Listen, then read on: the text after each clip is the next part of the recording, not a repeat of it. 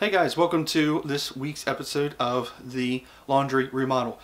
As you can see already behind me, a lot of has already happened, but we're going to take a little bit of a rewind and show you what happened. And this week, it's all about the demolition, so stay tuned.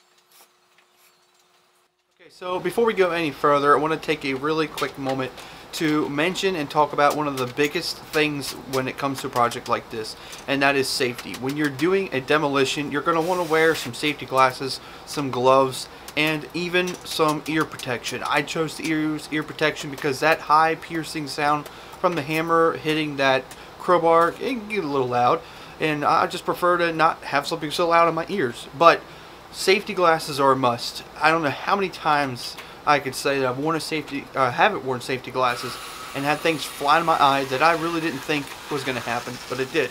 So, word of caution: always use some protection, use some forethought, do some pre-preparation when it comes to safety. Let's go right back into project.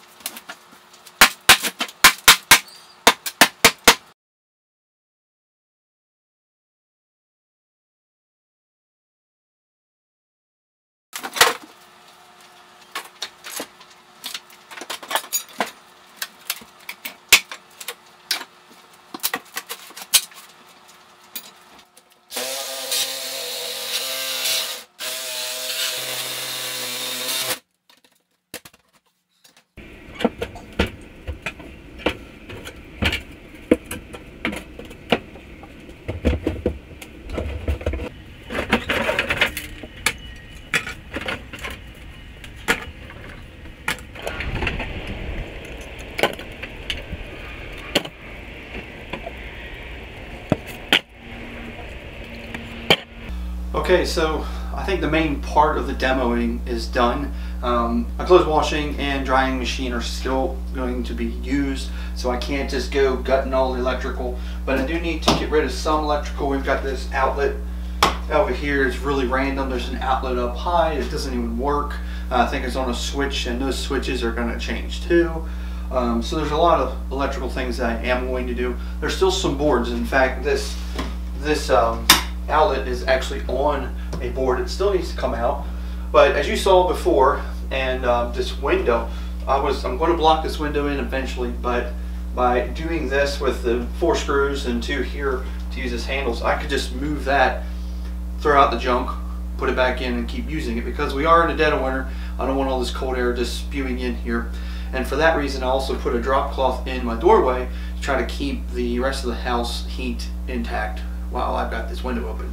But what I'm going to do now is start kind of getting some of this electrical figured out, um, take some plate covers off, try to clean that stuff up, see what I got to work with because I've got to figure out what I'm going to do with some plumbing back here because like I said, these are going to essentially just move on over.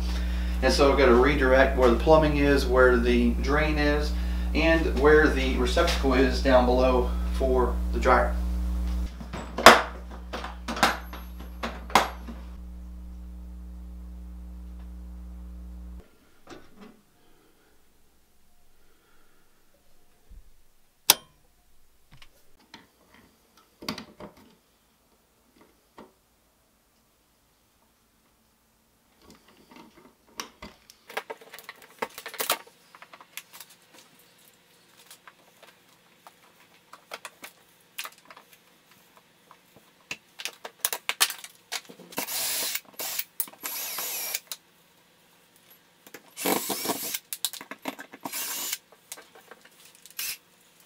Well, so here's a little tip. Um, when you're demoing a lot of things, mostly all the stuff you're taking out is going to be trash. But what I like to do, these metal junction boxes, the only thing that's ever really wrong with them is they might be dirty, they might be painted, but you're going to always put them in a place that you're not going to see. So what I would always do is save it.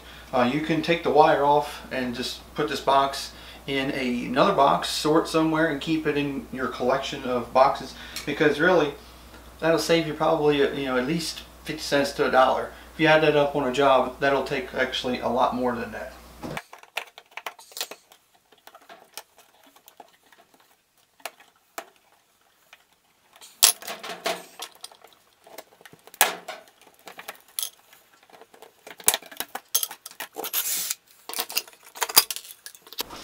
Okay, so it's the next day. Um, it's still kind of like a demo in one sense because there's still some things that need to be addressed, but the main bulk of all the stuff is gone.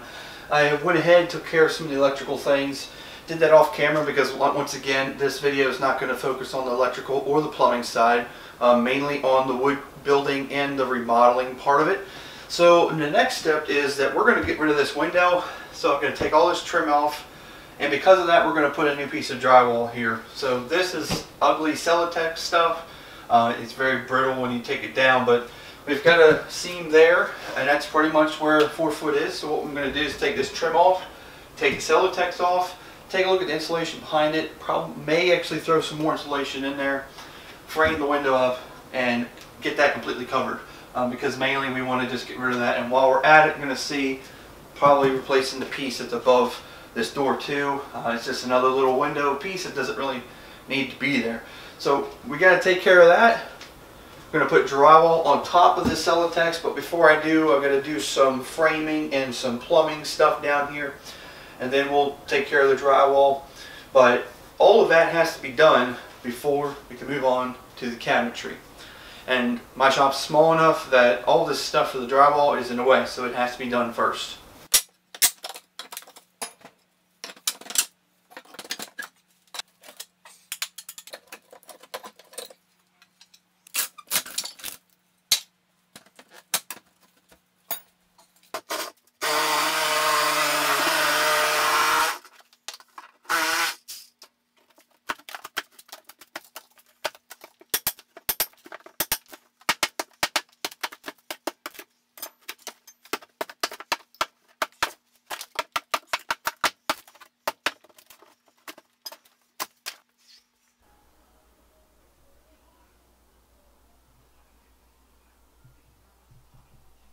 Alright, well it's finally gotten dark outside, so now you can actually see what I'm working on.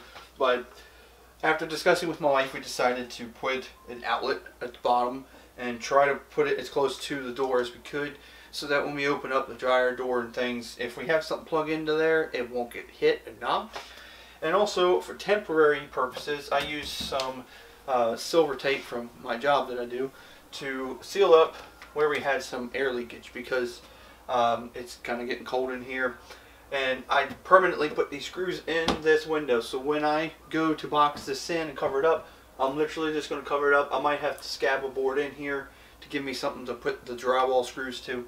But I do have insulation with stuff in here. And then at some point down the road, when it's warmer outside and it's maybe springtime, we'll actually take this window out outside, insulate it really good, and then break it up. But for the time being, just going to go ahead and do this. But I do have some insulation. It's not normally the insulation you would put in a wall. Um, it doesn't have the backing, the paper backing. So, but really, to me, it really doesn't matter. I'm going to fill these walls. It was very surprising to me to find that there was absolutely zero insulation in here. So what I'm going to do, I'm going to actually go ahead and fill these all up. Fill this up with insulation, fill up this void here. I did leave this little strip of um, Celotex there because the thing is, the width of the of the plywood or the uh, width of the drywall is four feet, and that is exactly where that is. I left the piece above the door as well because this is essentially going to get covered up by mud anyways with the seam there. And then up top, I figured just to maintain and keep that there, I'll probably put a skim coat of drywall mud on it. It will actually give it the look of drywall without having to rip that down. So I'm going to go ahead and fill this up with insulation. Probably put a little piece of wood here to give me, uh, probably right in here somewhere, just to give me the um, the center part so I know where to put screws for drywall. And then we're going to go ahead and put a piece of drywall up. Okay, so something I want to show you right before I get this drywall going. Um, when you are going to put drywall up on a studded wall, these are studs. Actually, this is not, but these are studs. And what you want to do is on the top side or wherever you can, put a little mark up a little V with the point being pretty much in the center. And then you know you have one here in the corner and I'll have one, one right on the edge. The reason for that is then I'll do the same thing on the floor. Do the same thing on the floor, do the same thing up here. Once I get that piece of drywall rough fitted in there, I will put a chalk line from here down to the bottom, snap it on every one. I know professional drywallers and all them, they've got probably different methods, but for DIY, for what I'm doing, this is what I'm going to do in my house.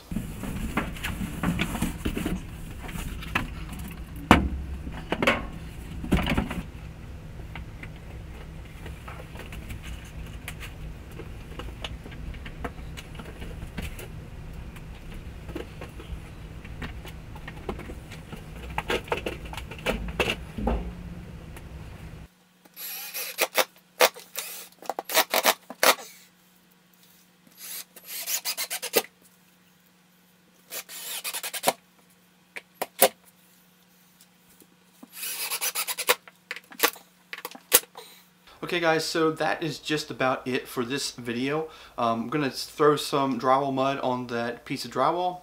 I'm going to clean up this mess from the debris before and then just try to put this room back into a semi-working order.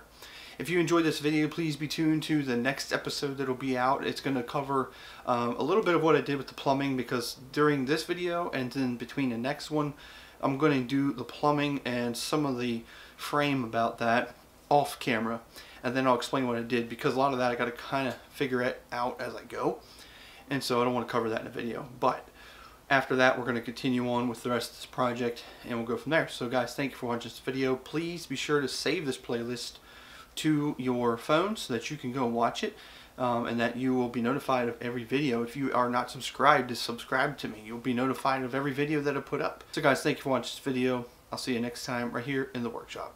Or I should say laundry room. I'll see you next time.